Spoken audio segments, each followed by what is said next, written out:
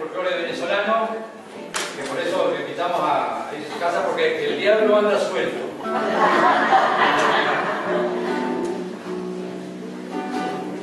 Bueno, que le agradecemos infinitamente.